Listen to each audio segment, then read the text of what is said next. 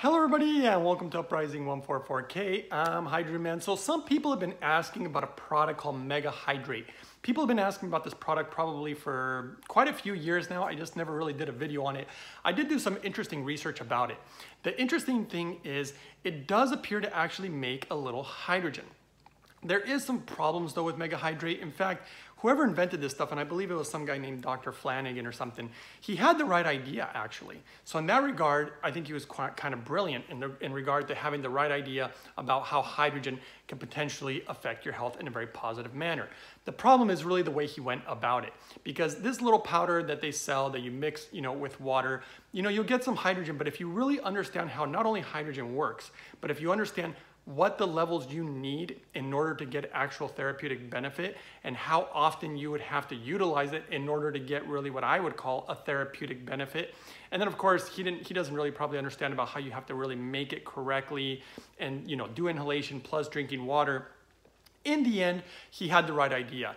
However, the way he went about implementing it, definitely not the right way to go about it, guys. I mean, Mega Hydrate's not gonna give you the crazy results because you'd have to use it way too often the price would become astronomical if you're trying to buy this thing regularly in order to use it.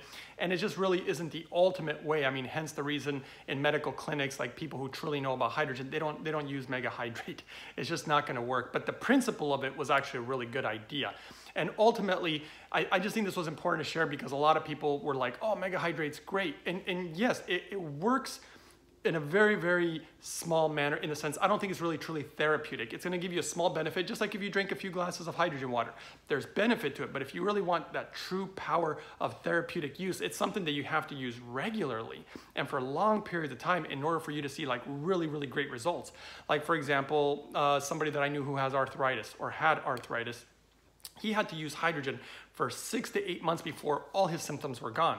So can you imagine drinking mega hydrate three, four times a day for six to eight months? It'd cost you a small fortune. It'd be crazy. It, it's, not the, it's not the way to implement such a thing. So I just hope that this kind of answered people's questions. And also it doesn't seem to make as much hydrogen as people think. I've seen people try to measure it in a very small cup, but you know, you're not gonna be getting probably the proper amounts of what I call the milligrams or obviously because even when you measure ppm you can measure ppm in a small cup but that's going to be a very different amount of milligrams of hydrogen that you would get in a huge container that is measuring at the same ppm i know it gets a little confusing. I try to keep it real as simple as possible but in the end i don't, I don't think mega hydrate will really work properly unless you use it for a really really long period of time. I think the expenses would be just astronomical.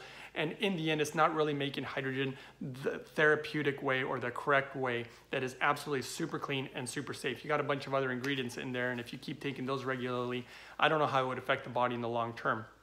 So that was just kind of a quick video to answer quite a few people's questions who've been asking about this.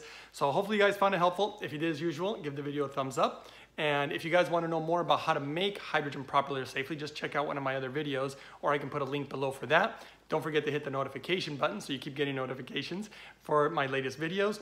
And also don't forget to share this information with people out there who you think will actually find the benefit or just curious to learn more about hydrogen as it is incredibly fascinating, especially what it does when used properly. That's when things go to a whole other level. So, all right, guys, thank you all for watching. I'll see you guys next time on the next video.